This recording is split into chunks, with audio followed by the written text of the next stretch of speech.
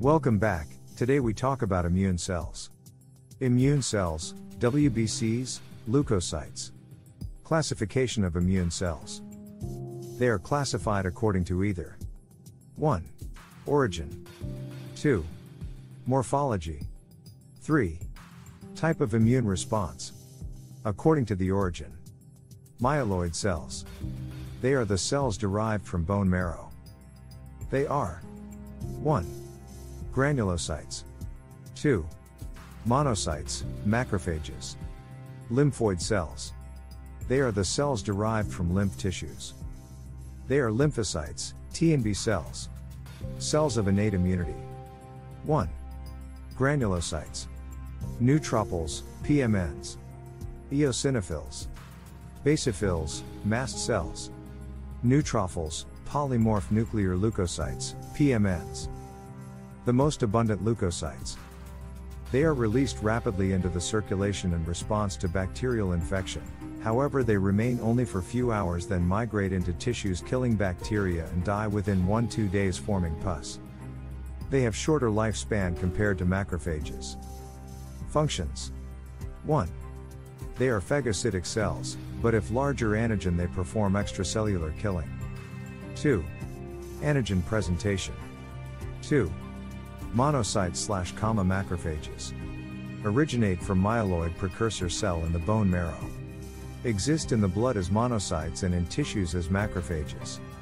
Monocytes migrate from the bloodstream to other tissues and differentiate into tissue resident macrophages. Macrophages are named according to the organ, for example. In skin, Langerhans cells. In connective tissue, histiocytes. In liver, Kupffer cells. Monocytes can survive up to two days in the circulation, while macrophages may live on for months in the tissues. An important link between the innate and the acquired immune mechanisms. Functions they are phagocytic cells. 1. Microbial killing, as neutrophils, but macrophages have longer lifespan than neutrophils, so are more seen in chronic infections forming granulomas. Dot. 2. ADCC, antibody dependent cell mediated cytotoxicity, kill antibody coated cells without engulfing them. 3. Antigen presentation to lymphocytes. 4. Tissue surveillance to survey constantly any signs of damage. 5.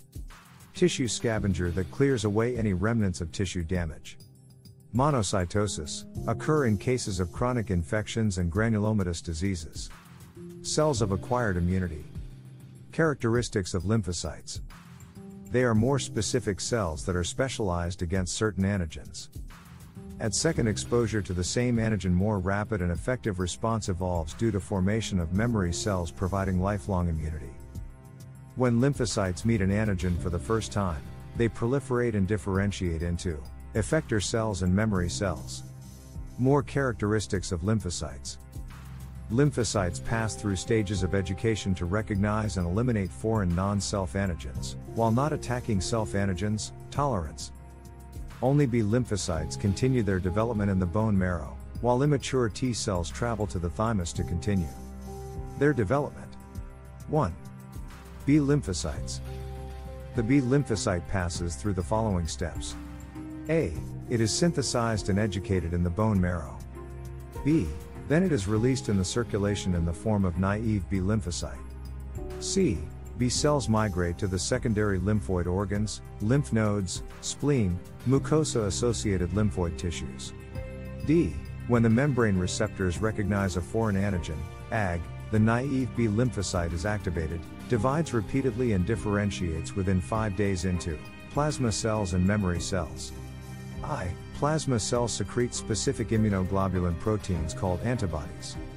They are secreted in the bloodstream to defend against the attack. 2. Memory cells remain to provide lifelong immunity against the same ag. Antibodies. They are Y shaped proteins having a constant region and a variable region. The shape of the variable region differs to complement the shape of the ag it binds to.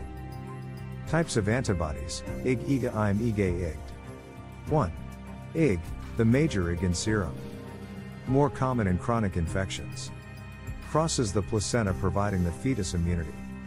2. IgA, the major class of IGs in secretions, tears, saliva and mucus. 3. IgM, the first IG secreted after infection, so it is more commonly seen in acute infections. 4.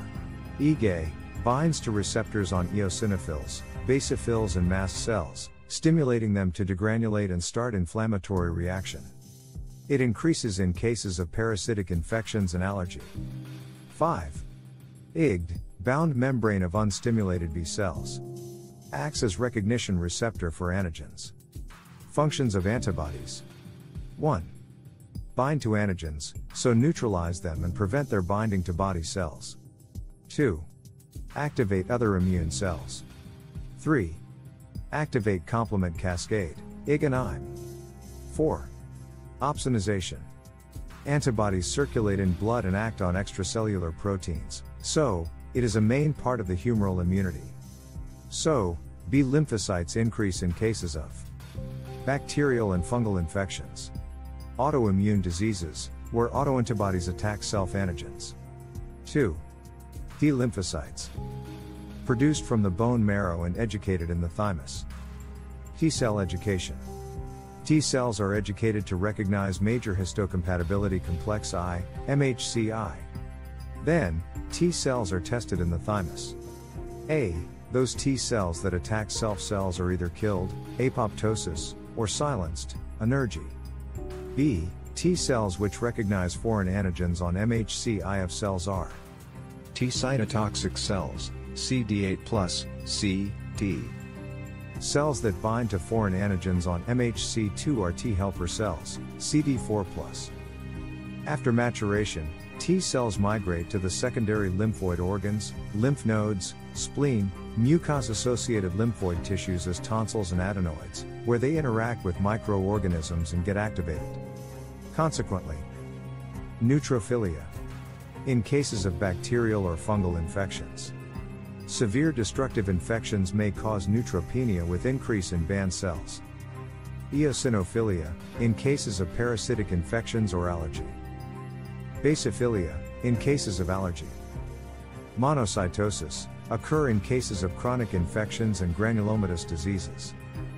T cells increase in cases of viral infections, tumors, chronic inflammation. So, Summary of process of immune response. 1. The immune response starts by innate immunity defending against a microbe. Neutrophils followed by macrophages invade the affected tissue performing A. Phagocytosis. B. Extracellular killing. 2. Innate immunity provides early danger signals to adaptive immunity.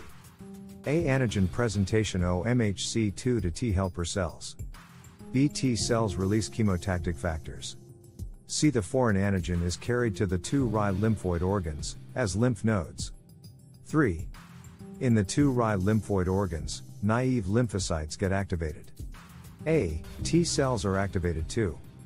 O. Effector T cells migrate to the site of injury to react to infection directly. O. Memory T cells that stay in the two Ry lymphoid organs to provide lifelong immunity to this antigen. B. B cells are activated too.